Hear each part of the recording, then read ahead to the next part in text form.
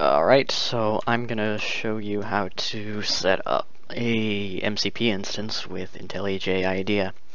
So I have this uh, little MCP folder that I created for this purpose, just uh, blank source, nothing in it uh, as of yet.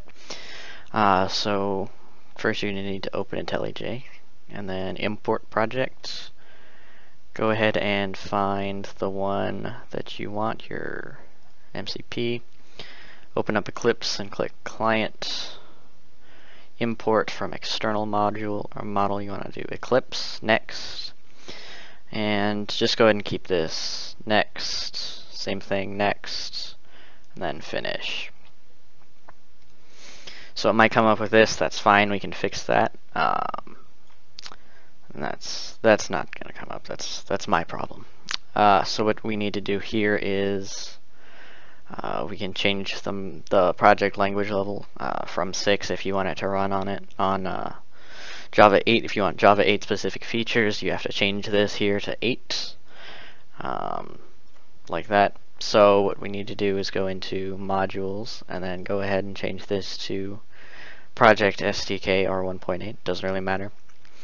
Uh, sources. If you have if you've already configured a uh, an MCP root here, this is what you need to do. you need to do this. You need to go ahead and there's already a source root here and you need to get rid of that. And then you need to go ahead and add it again, which is going to be under demo NC, MCP source and then just go ahead and click Minecraft.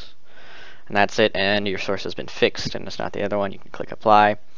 Um, dependencies is where you can add any libraries that you might need for your project, like, uh, I don't know, JDOM or something else you might want to use, uh, any external libraries. Um, and you can also manually fix any of these if they're broken by going to the pencil and removing it, and you have to add it again. So, or you can just do that. I don't know. So that's done. So now you're going to be saying, wow, the run stuff's grayed out. How do I do that? Alright, so you go to Edit Configurations, create a new application configuration. You can leave it unnamed if you want. Uh, main class is Start, which is just going to be default package. Um, working directory, we want to change that to get rid of Eclipse and client to just jars. Alright, and VM options, the java.library, I cannot type today, dot path equals, and then you want to type in versions 1.8, and then 1.8 natives. Uh, this is going to be different for every version of MCP and every version of Minecraft that you have. So I recommend going in here and checking it out in the jars folder versions and then you'll find the natives folder in here and this is all the things you want in there.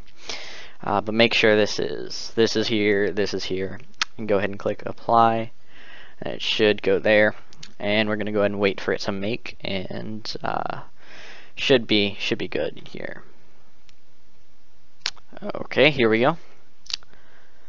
And we should see here, after it, it might take a while here, and we can see that it does indeed launch Minecraft. And everything should work. Sound, everything you need. Um, so, now you can just switch this over to packages and you can do whatever you want with a source. And that's it. That's, uh, that's all you need to do.